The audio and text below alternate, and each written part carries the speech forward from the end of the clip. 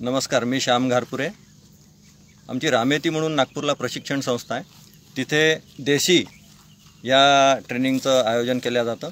देशीचं training म्हणजे कृषी सेवा केंद्रवाले जे विक्रेते आहेत वेगवेगळ्या निविष्ठा ह्या निविष्ठा विक्रेत्यांना एका दर्जाचं शिक्षण मिळावं किंवा ॲग्रिकल्चर ग्रॅज्युएट दर्जाचं शिक्षण त्यांना मिळावं आणि त्यांचं तांत्रिक ज्ञान वाढावं यासाठी हे ट्रेनिंग घेतलं जातं. या निमित्तानं यांच्या आठ फील्ड विजिट आयोजित केल्या जातात. त्यापैकी आज आम्ही श्री मुझफ्फर हुसेन साहेब यांच्या शेतामध्ये आलेलो आहे. आणि या शेतीचं वैशिष्ट्य म्हणजे हे नैसर्गिक शेतीचं एक मॉडेल आहे. याच्यामध्ये वेगवेगळे पिकं लावलेले आहेत. जसं की ऊस आहे चिंच आहे आंबा आहे सीताफळ आहे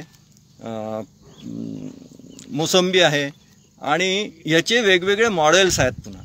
म्हणजे नुसतं कुठल्याही क्षेत्रामध्ये एकच पीक नाही आहे एका पिकाच्या मध्ये दुसरं पीक आणि दुसऱ्या पिकाच्या मध्ये अजून तिसरं पीक असे पाच पिकापर्यंत या याच्यामध्ये घेतलेलं आहे. ही जमीन बघता या जमिनीमध्ये तसा काही विशेष खूप प्रोडक्टिव्ह जमीन अशी नाही आहे पण अशा परिस्थितीत सुद्धा नैसर्गिक शेती किंवा ऑर्गॅनिक शेती जर तुम्ही केली तर आज काय चित्र उभं राहू शकतं याचं एक जिवंत उदाहरण आज आपल्याला इथे बघायला मिळतं. ही सगळी पिकं आम्ही जी बघतो आहे साधारणतः याची लागवड तीन वर्ष ते चार वर्षाची आहेत.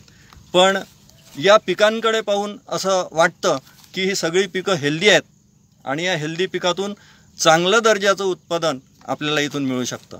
तर हे कळण्यासाठी किंवा हे सगळे रसायनच विकणारे लोक आहेत ज्यांना आपण ट्रेनिंग देतो आहे पण यांच्या माध्यमातून शेतकऱ्यांपर्यंत हा संदेश जावा की नैसर्गिकरित्या शेती केल्याने सुद्धा आपल्या उत्पन्न मिळू शकतं हे याच्यातून आपल्याला निश्चित दिसून येतं. आणि हे त्यांना मार्गदर्शनासाठी आम्ही इथे आणलेलं आहे. पण अतिशय चांगलं असं नियोजन इथे असलेले श्री बिपिनजी आणि त्यांचे पुत्र यांनी आम्हाला केलेलं आहे. आणि हे अजून पुढच्या लोकांपर्यंत पोचेल अशी मी अपेक्षा करतो. धन्यवाद.